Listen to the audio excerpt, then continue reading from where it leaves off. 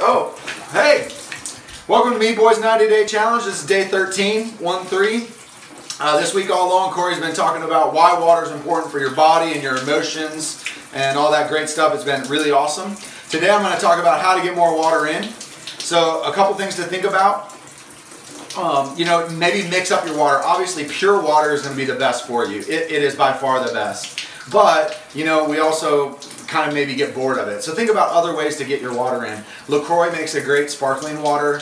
It's natural flavorings, it's carbonated, but there are no sweeteners. So think about a product like that maybe that tastes a little bit different than just plain water. But again, don't get anything with uh, artificial flavors or sweeteners in it because you don't want to sabotage yourself. Also, um, when you're out in restaurants, sometimes you might have a cup like this and you can see right here, a cup like that might have say 12 on the bottom of it. It might say like ST12 or ST16. So when you're out and about in restaurants, you can actually see how much water you're getting in um, so you can track it.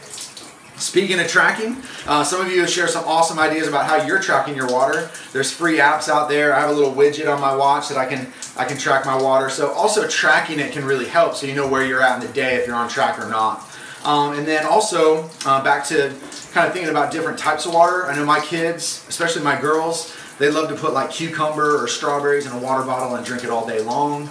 Um, you can think about doing something like that. Put some fruit, maybe some mint, you know, that kind of stuff in your water to, again, maybe give it a different flavor. So it's day 13 today. It's lower body, so make sure you're doing your lunges and your uh, squats if you're hanging out with us. Get your steps in and your water in.